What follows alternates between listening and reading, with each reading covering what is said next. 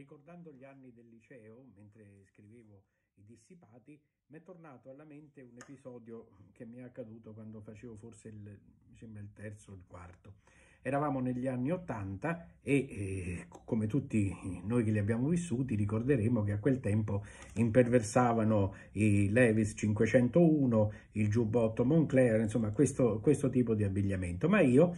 per quella sorta di narcisismo, se vogliamo, di subrettistica vanità che mi portava sempre a fare ciò che non facevano gli altri, invece vestivo regolarmente in giacca e cravatta e questo ai cosiddetti superiori del collegio dove studiavo andava benissimo. Altro discorso invece era per la capigliatura. Negli anni Ottanta i capelli andavano corti o comunque medi e eh, governati con il cosiddetto gel che si chiamava anche gommina all'inizio.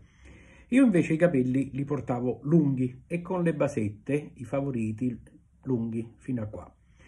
Il mio modello era la capigliatura dell'Elvis Presley anni 70, il mio idolo canoro, e quindi ho comunque una capigliatura ehm, degli anni 70 tout court.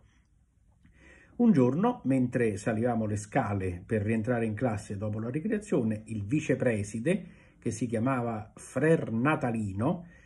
e che eh, adesso con eh, le acquisite cognizioni di psicologia definirei tranquillamente un maniaco del controllo, ma o comunque diciamo uno con la vocazione del sergente maggiore, mi fermò e indicandomi i capelli e soprattutto le basette mi apostrofò dicendo sei mazziniano?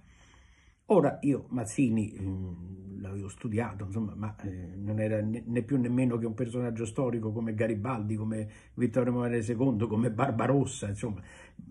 mazziniano sicuramente lo sono più adesso di quanto potessi esserlo allora, ma eh, evidentemente quel eh, richiamo al risorgimento